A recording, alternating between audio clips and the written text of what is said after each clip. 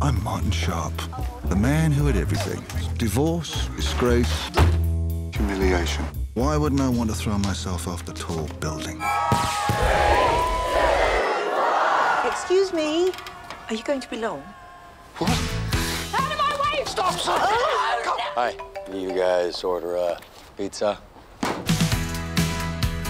Four suicidalists, one roof. That's practically a convention. Here's the deal. Nobody kills themselves until Valentine's Day. It's not such a ridiculous idea. Pretty sure we're all going to live to regret this. Many of us have been transfixed by the story of the Topper House 4. Currently, I'm concentrating on being a father, and before that, I was in prison. Tell me more. This is a media firestorm. Politician's daughter. Oh, what surprise. Has anyone ever told you you're a bit of an idiot? I'm a politician. That's all they ever tell me. I was just checking to see if you're okay. Try to get yourself killed? Boy.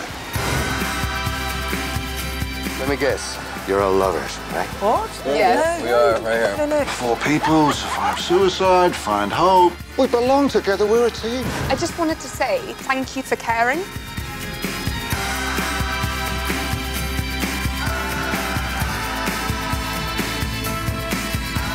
Here. Of course we're here. It is kind of cool, huh? Doesn't feel strange being away together. Yeah, it feels good.